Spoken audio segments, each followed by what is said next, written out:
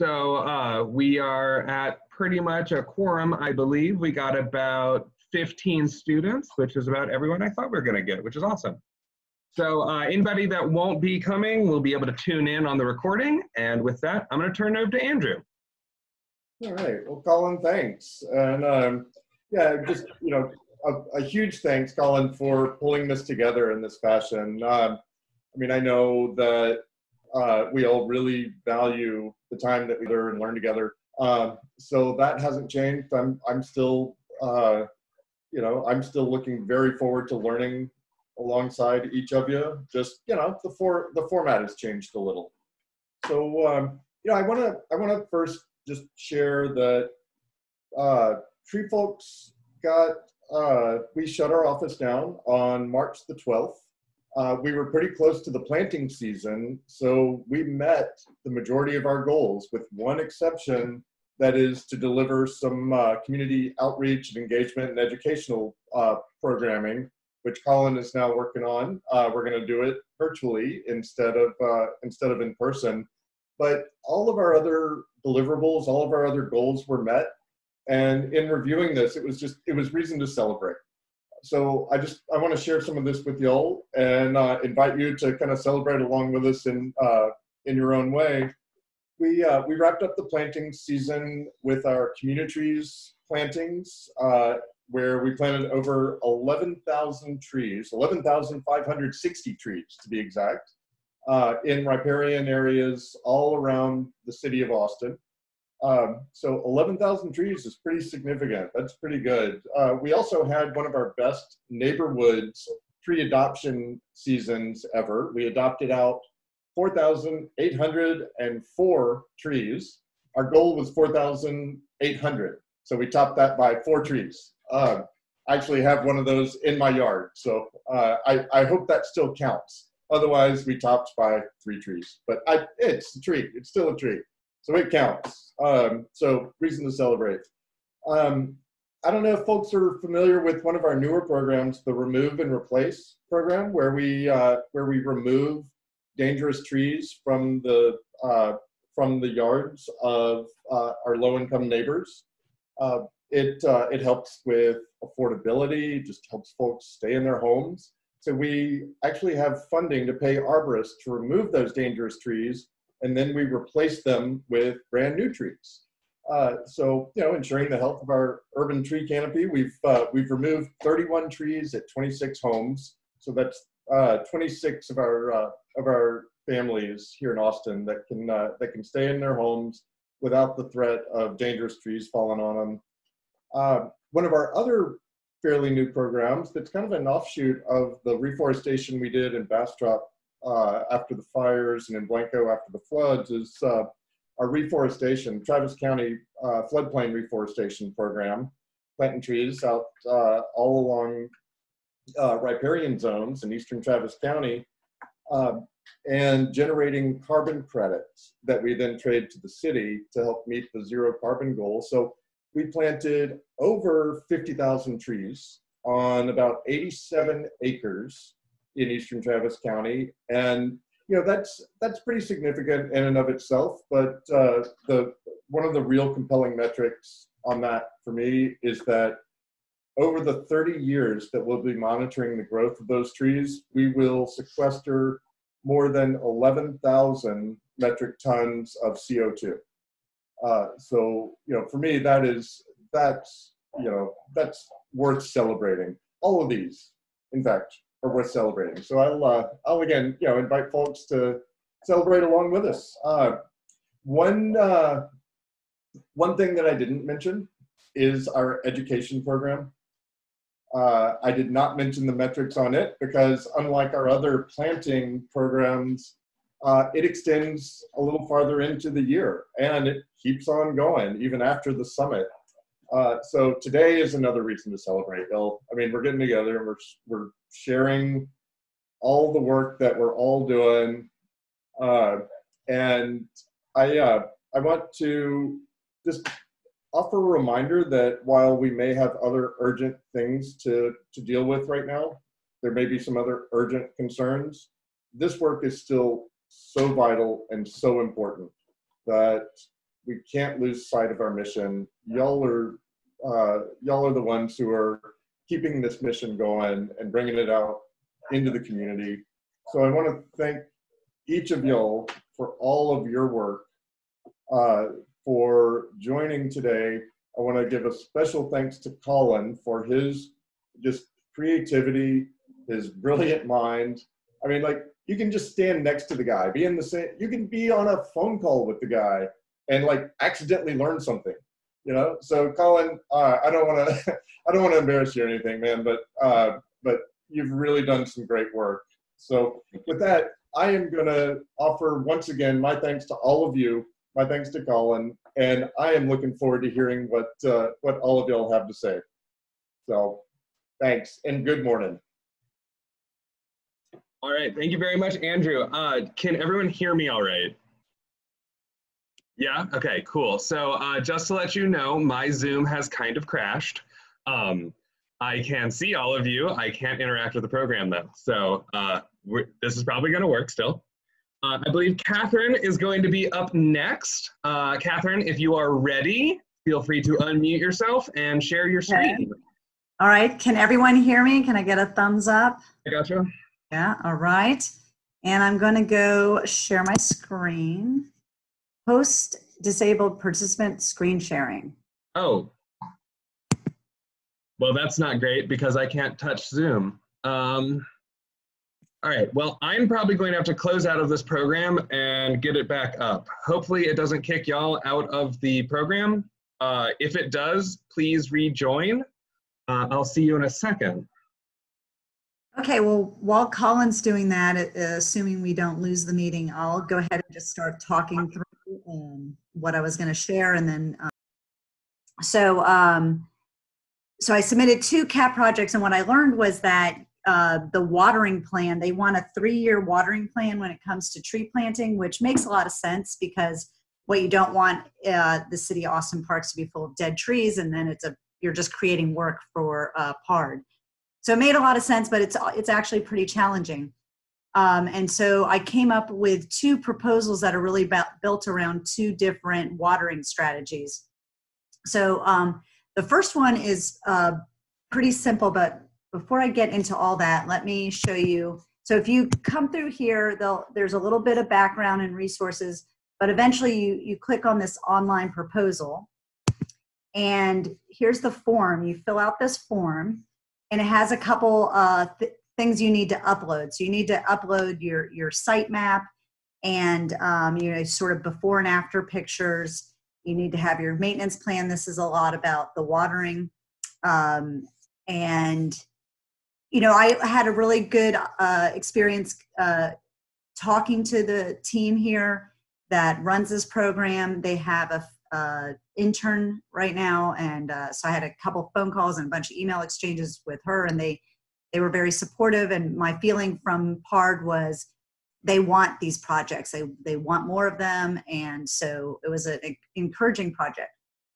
So the first uh, one i submitted was a really um, small scale one where my vision for how to water was to use this battery powered transfer pump and that i would buy it myself and uh, you know as a donation toward the the project and I will go out there myself or lend it to neighbors if I'm out of town to water the trees. And, and based on tree folks guidance, you know, we, you know, it seems like a gold standard to me, but I, I think it would definitely keep the trees alive would be uh, watering 20 weeks uh, a year, all through the summer, once a week, 25 gallons per tree. So it's, it's pretty significant. Uh, this pump apparently will bring water up um, 15 or 18 feet and has really good reviews. So, and it's battery powered, so you can, I could charge it home on my Green Choice energy program and, you know, wouldn't be burning diesel or gas. So I was excited about that. So the first proposal, there's a beautiful little pond at Northwest Park, if you can see this photo. Um, it's a sweet little pond and it's got these beautiful big cypress trees around it bald cypress but in between there's there's not much and so um, and then on this back side is a dam Um, and then on the other side of that dam is Shoal Creek. So I wanted to avoid the dam because I understood that that might get reworked at some time. And then there's trails where people walk and they get really close to this edge.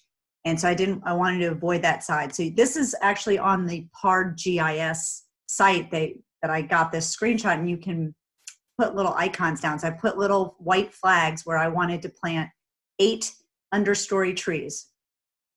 The other thing they asked for is a picture of the before. So here's sort of uh, an example of before, where you can see uh, there's the pond, here's these beautiful cypress trees, but then it's just kind of like mowed right up to the edge there and lawn. So I thought um, there's an attempt to have a no-mow zone, but it's it seems hard to enforce. I thought we'll put some understory trees there. So that was the first project uh, I submitted. Um, then the second one was more involved. Um, the second one, uh, the other watering strategy I had working a lot with Andrew Smiley and Colin Michael was to use a water truck service. Uh, so Tree Folks has um, water truck service capabilities, and I, you know, I learned a lot about uh, the capacity of that and the cost for that and these these water trucks you can kind of imagine they would kind of cut the curb and you know or or they can reach about 100 feet if i remember correctly or maybe it was 100 meters but um, so that maybe they can just be on the street and they take two staff members to you know they have to go fill up the truck drive to the place move the heavy hose around um, but they can they're very reliable and uh, pard really liked the water truck, you know, like uh, that felt like something that they could count on. So um, what we figured out with Andrew's help was that it was about a 75 uh, tree a day maximum. That once you get past that, you're gonna have to pay for them to come out another day. But 75 trees was they wouldn't have to refill the water. Uh, they wouldn't have to come back a second day. So that seemed like the optimal, you know, amount of trees to water. So I put together, you know, a, a much more ambitious project for 75 trees and really focused it on near the little internal roads at Northwest Park, kind of avoiding, we do have a lot of beautiful grassy fields that people don't want to have trees on, right? They want to play fetch with their dog or play soccer and stuff like that. So I avoided those areas. And um, I, uh, it's this one. So I put together some documents. So the first one was um, this is just how I chose to do it uh, a map. They asked for a map. So starting with like the big picture of Northwest Park, this is the area, and then I drilled down further. Okay, now let's talk about this area, and then again use that same flagging um, with the white flags being uh, understory trees and the yellow flags, I'm colorblind, I think they're yellow flags being uh, shade trees. There's actually a, a, fair amount of shade trees there. So, um, and I described it as an effort to kind of mimic a forest, so um, concentrated plantings. So I went through different areas of the, the park, you know, in detail, showing um, where, where there was an opportunity. I identified 86 sites. Again, we were going to cap it at 75, so these wouldn't all get planted um, and then there's a little like little arroyo kind of here. So that was a really nice riparian opportunity. And the other thing they asked for is an, a before photo. So I just took that same document and went through in the same manner, but now showing the before picture, right? So you can see there's a great tree planting opportunity. You know, a lot of these are just lawn on the edge of a roadside, not a lot going on. Um, so I submitted these and then we'll see whatever happens. Um, well, let me go in a little more detail. So this was going to cost a, a, fair amount of money, these watering truck services um, and all the trees. So we're looking at tens of thousands of dollars. So that's not, that's sort of beyond anything I'm going to be uh, donating. So there are some resources where you can get funding for your project. Uh, so they have right on that same initial page, they have a, a, a, bunch of resources here that could possibly fund it. The two I was looking at are, um, shoot, this is gonna, well, let me just get that out of the way. There we go. The Urban uh, Forest Grant, which can be like literally, I think it was over a hundred thousand dollar grants that they put out. So Um, and I did reach out and just ask, like, what is that range? So, you know, I had been thinking a, a thirty-five, forty thousand dollar project is a lot, but it sounded like that might be on the low side of of what some of these grants are. That has an application deadline of January first and July first. Um, I my understanding was these, and the other one, just to rush ahead, was the uh, I was looking at this Austin Parks Foundation. They have community grants. They've also done some big projects. Um, and I believe before you really need to get your CAP proposal approved and then you move to this step, um, is what my understanding was. This one here, unfortunately, is kind of due to COVID, is postponed indefinitely. Um, so hopefully that'll come back up. So that's as far as I got on those projects, um, but it was educational and hopefully, you know, I think it's a long game. You know, it's not nothing's going to happen really fast, but I'm I'm hopeful that they'll eventually proceed. I guess the last thing is, I did learn Northwest Park is has a dual function, so it's really a sculpted park like a giant retention pond. So there will need to be a lot of modeling around like whether the trees are going to um, interfere with with flood control function of the park. Uh, but it sounds, you know, that the city is going to devote some resources to look at that and, and determine if that's an issue. And then the other thing is, um, I bet this is true of many parks. They all, you know, there's a plan to make a plan. In five years, we're going to revisit our plan and make another plan. And you know, so uh, I guess we'll wait and see. Like, do you have to wait and to get into that planning cycle, or are they able to sort of allow a project come uh, just in the middle of the, the experience. So that wraps it up for my presentation. And oh, good job. Thank you. Yes. Right. if anybody has any questions for Catherine, uh, you can add them in the chat box just so we're not all talking over each other. Um, and Catherine, you can either read them in the chat box or I will read them to you. All right, I can see the chat box and um, let's see, what is the cost of the transfer pump? Okay, so Colin's answered that. I thought I saw maybe even a little cheaper, okay. maybe under 200. Thanks. Um, thank you for the compliments. Yeah, cap looks good. All right, thank you. Yes, ambitious vision is my specialty. All right. Well, uh, if we don't have any more questions going coming in the chat, um, let's see. Up next, we are going to have Ali Bogum with her Evergreen Native Fact Sheet and Transplant Procedures. So, Ali, if you are ready, I am ready to let you share your screen. Hello. Oh yeah, give me a second to figure this out. Share screen. Uh, okay. Okay. Great. It just moved you guys far over. All right. Oh, this is not the right, right one. There we go. So I had a lot of ambitions and had to kind of filter it out. Uh, so I will show you my draft native uh, evergreen fact sheet at the end, but what I'm mostly going to talk about today is transplanting native seedlings and saplings. Uh, but first, I found Urban Forest Stewards because of um, Stephanie Simmons. We, uh, I'm fortunate to live in a neighborhood that's about to have a, a BCP preserve, and my partner is going to be the steward. And so we embarked on Urban Forest Stewards last year to learn as much as we could about how to maintain that little space there. It's a it's a 40 acre preserve, so it's not not so tiny. Uh, and there's tons of ligustrum, and I've been complaining to Colin, but we wanted to learn everything we could about trees and ur urban forestry. So here we are. I did not finish the course last year, and here I am to to finish it out. Um, I am fortunate to to live on one acre in the Edwards Plateau area, so I've got a sloped hillside with all the limestone in the world, thin soil, uh, not as thin as you would think. I apparently am luckier than, than most. Um, and lots of really cool native plants. So we, we've got a, a, full canopy of oak juniper woods, and over the last nine years, we've created path throughout. and in our paths, we have had volunteers of all sorts pop up. So we've got um, some winged and non-winged cedar elms. I was so tickled to find the wings. I think the wings are cool. Um, but none of the lacy elms. That's that unfortunately we have not had.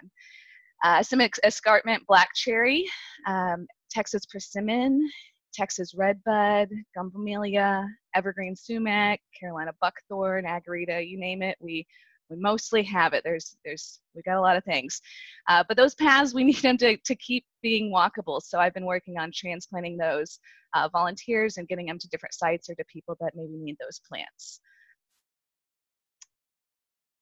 All right, so I've learned over the years the right tool matters. I never wanted to buy anything. My partner's always the one that's like, we can get a better tool for this. I'm like, no, we don't need to spend the money.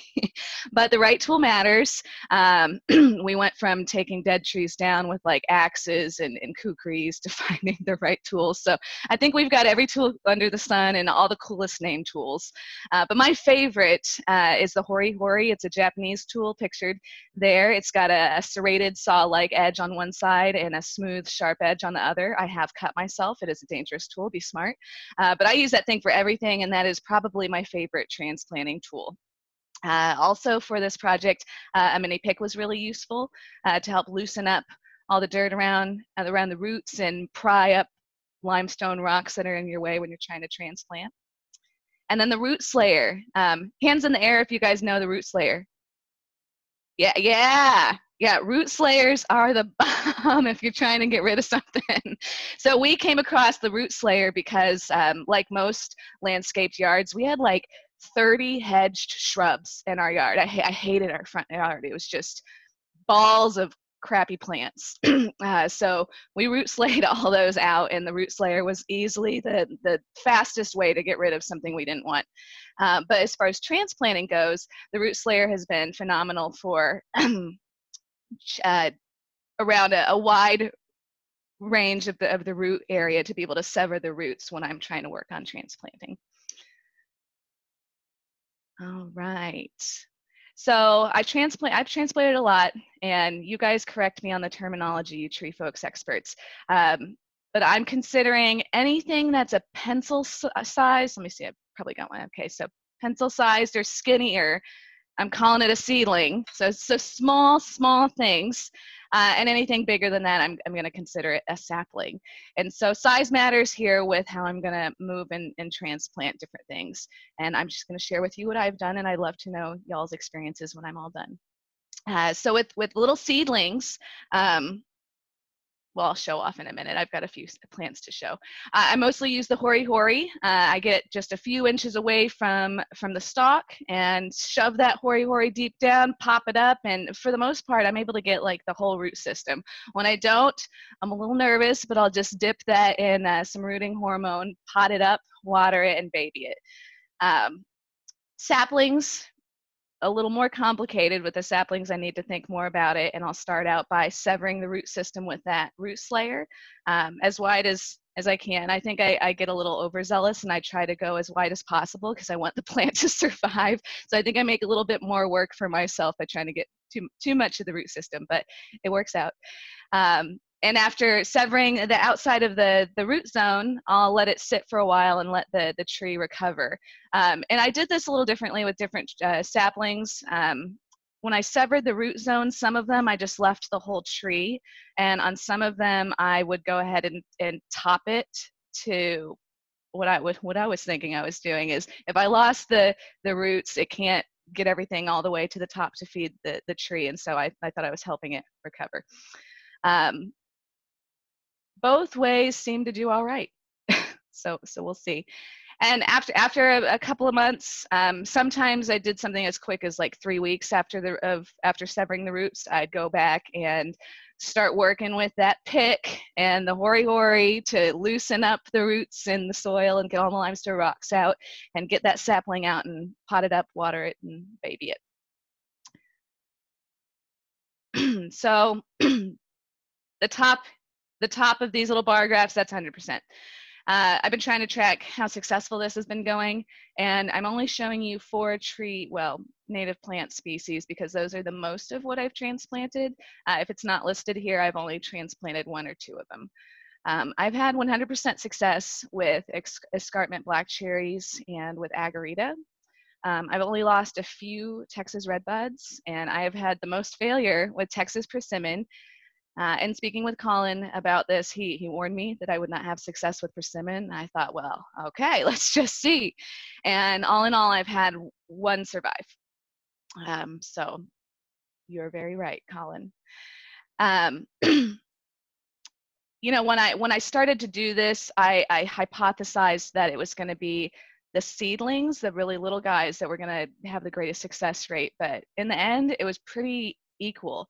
Um, I think the bigger difference is how much work it, it takes to transplant a larger sapling as opposed to a smaller seedling. Um, but we'll see more data, we'll give more information. So I just I just love my woods and I love nature and all the critters that are out there. Um, it's been really cool to be able to pop these things out that are still great things and use them elsewhere and have them be able to survive. Uh, again, I'm on a, a, slope and we've got some erosion issues, so I've been popping these guys in to manage erosion issues. Um, and then uh, gifting things that, that we have excess of. So if anyone wants a gum bumelia, I've got about a, a three foot tall gum bumelia that you can have. And if you want a Texas redbud, I've got like a, I don't know, like a two and a half foot tall Texas redbud that, that you guys can have. And then if you're interested, this is, this is my only surviving persimmon. And you can see it's like two inches tall, very, very small, but he's alive. And um, I didn't know how special Carolina buckthorn was because it just, it just is here, but um, Colleen Dieter has supported us in our landscaping, and she let us know that um, the deer love to eat it, and we don't have deer, so we've got it everywhere. I've been finding babies, and I've been popping it out. So here is a little baby Carolina buckthorn. I guess I don't know, like he's like eight inches tall, maybe, maybe six, eight inches tall. Um, and all these little guys have done really well. They're super happy. And then here's a an agarita. We've got, I don't know, like a foot and a half tall agarita. Now he he poked the heck out of me, but I got him out and he succeeded. And I, I won't lie, he I didn't think this one was gonna make it. He had quite a few browning leaves for a while, but you know, he made it. So here we are. and then Colin has my pride and joy. I had um, there was a very large black cherry that was in a path that it just could not it just could not be there. And I didn't want to kill it, so I was scared to transplant it at a, a smaller size and waited too long. I transplanted it when it was uh, taller than me. I'm 5'4. Uh, and Colin has it, and it's alive. so, woo woo! and uh, on the screen here, this is I don't even remember where I came across this quote, but I, I just love it. And it's it's in the end, uh, we will conserve only what we love, we will love only what we understand and that we will only understand what we are taught.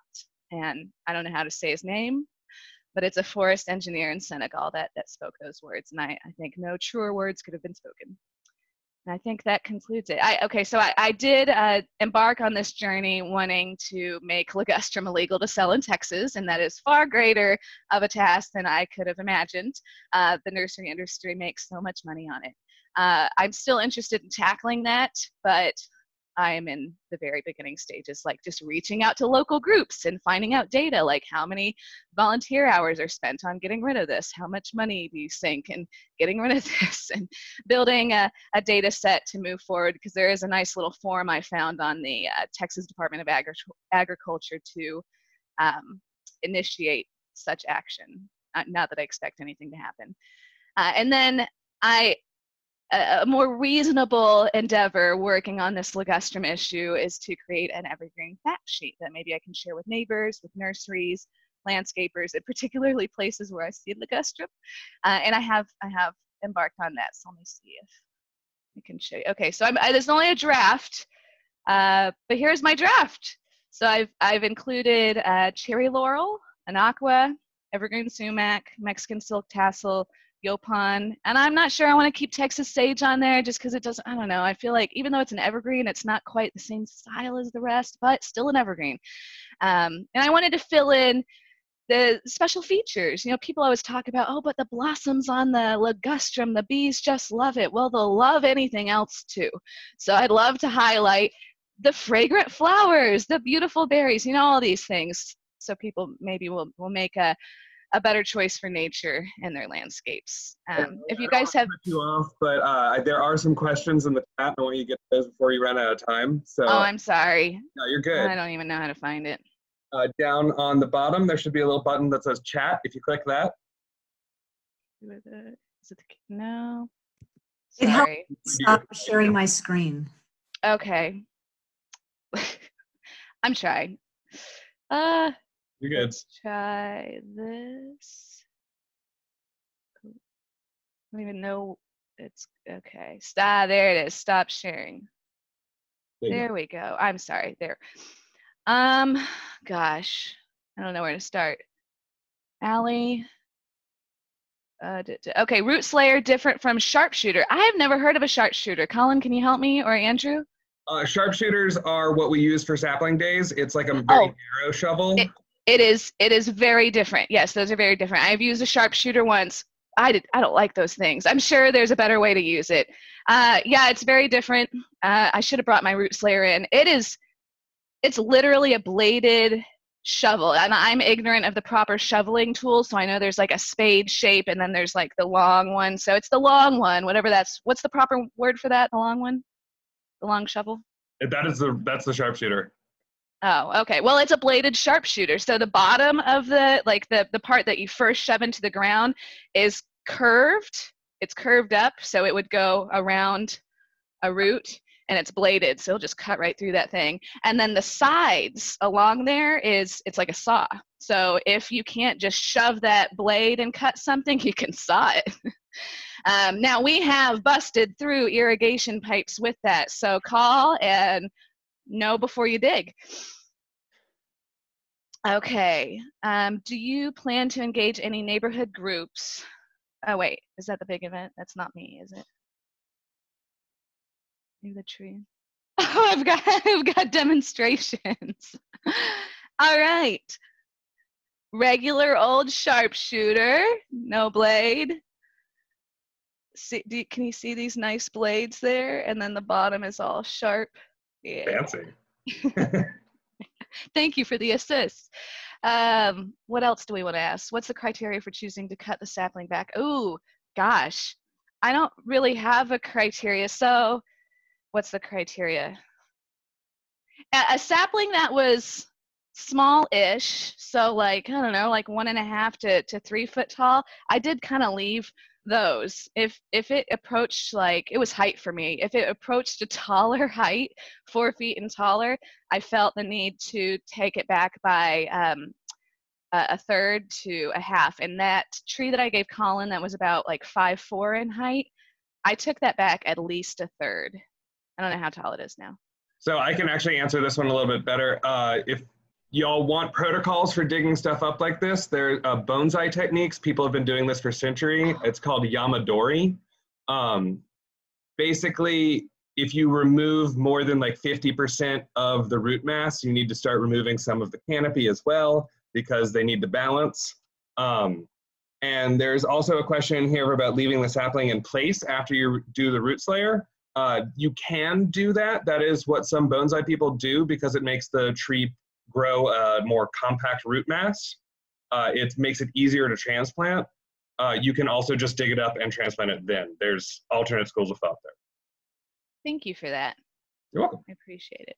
All right, I believe up next we are going to have Adam and Bill Longley. Uh, they're going to present together on their project planting a. Pro- uh, they're doing a planting project at a local golf course. Right?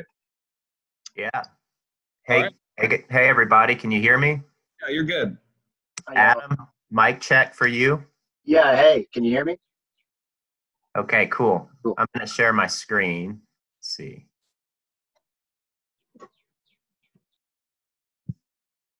Oops. There we go. Okay. Let's see. Can y'all see that? Okay, good. Okay, so um, so we sort of settled on our project with regard to Riverside Golf Course here in Austin after talking uh, big picture about golf courses and trees, and we we we reached our uh, project topic after uh, playing playing a lot of golf over the years and also you know through our interest in trees through this course um, we thought that there may be some room for um, for a project here. Uh, typically with golfers and tree and um, you know folks that that are really interested in trees there may not be a whole lot of overlap between those two categories. Uh, in fact, in most of the literature we read um, put out by the, the PGA, the Professional Golf Association, uh, most of that was about cutting back trees, uh, getting rid of them, or minimizing trees' impact on the course uh, because of you know interference with uh, shot, you know, people taking shots at, on golf courses and trees being in the way. I mean, the for I think everyone's familiar with the game of golf, but the point is to get a tiny ball in a tiny hole hundreds of yards away. And the more trees that are that are in the way between you and the hole, the harder it is to do. And so I think trees have kind of gotten a bad rap on golf courses over the years. Um, and and so uh, that's probably why a lot of the literature that's put out by course designers and and golf enthusiasts uh, is in a way sort of anti-tree. Um, but we do think that there there may be some room for uh, for more trees on golf courses, specifically with regard to public publicly owned golf courses. Private courses are you know there there may not be a whole lot that can be done there unless you had someone running the course or a designer that was uh, you know really into trees. But I think public publicly owned courses um, might be an option, especially in a city like Austin where you have um, maybe a more um, progressive uh, city council for municipal courses that uh, would push for uh, having more trees on on golf courses as uh, just the right thing to do uh, from an environmental standpoint. So I'll go. Let's see. Here is here's a Google Earth look at the Riverside neighborhood, and um, you may need to move your your Zoom window a little bit to see the golf course, which is on the right hand side. There's there's kind of one swath of green area on this whole uh, this whole look at at this area of Austin, and that's uh, a city park and some softball fields, and then Riverside Golf Course is is right there as well. So this is prime real estate in the middle of an urban setting, uh, the, a developing urban setting, especially around Riverside. But I think you'll find the same view as uh, a similar view of other municipal golf courses in town, whether it be Morris Williams Golf Course on the east side, which is a city-owned course, or Lion, Lions Municipal Course on the west side of town. Um, all sort of look similar to this. And so we think that that to be able to provide more trees on these golf courses would have positive impacts, of course, to the people that are playing golf. Uh, you know,